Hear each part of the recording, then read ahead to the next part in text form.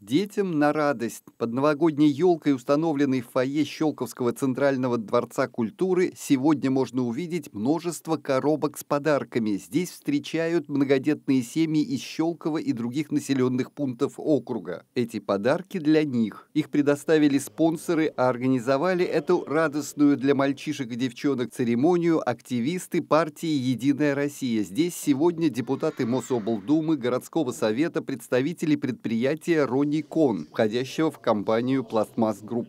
Безусловно, детям надо помогать. А, наши учредители, наше руководство «Пластмасс Группа» устраивает и многодетным семьям встречи у нас на заводе, и много других мероприятий. Мы сегодня стараемся как можно больше охватить э, наших э, детишек, особенно с многодетных семей, с э, инвалидов, малообеспеченных, для того, чтобы э, не забыть никого, всех поздравить. А, вот в таком хотя бы очень усеченном э, варианте Выступавшие на церемонии вручения подарков говорили о том, что в этом году, к сожалению, не получается проводить, как это было раньше, новогодние елки для детей, но это не значит, что они остаются без подарков. Депутат Мособлдумы Николай Черкасов отметил, что все мы накануне Нового года ждем чуда, и дети, и взрослые.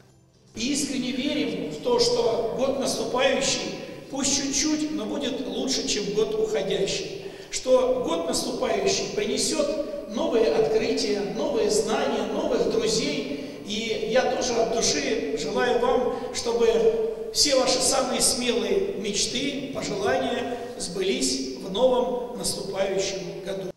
Многодетные семьи, которые приехали на церемонию вручения подарков, входят в две общественные организации. Они называются «Красиво и значимо», «Много нас» и «За рождение». Родители благодарили за оказанную помощь и подаренную радость их детям. У жительницы Медвежьих озер Елизаветы Вахрушевой детей трое. Все они получили сладкие гостинцы от Дедушки Мороза.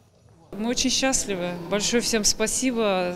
Хотим пожелать всем, самое главное, здоровья, счастья, удачи. Особенно ну, здоровье в наше нынешнее время нелегкое. Это очень важно.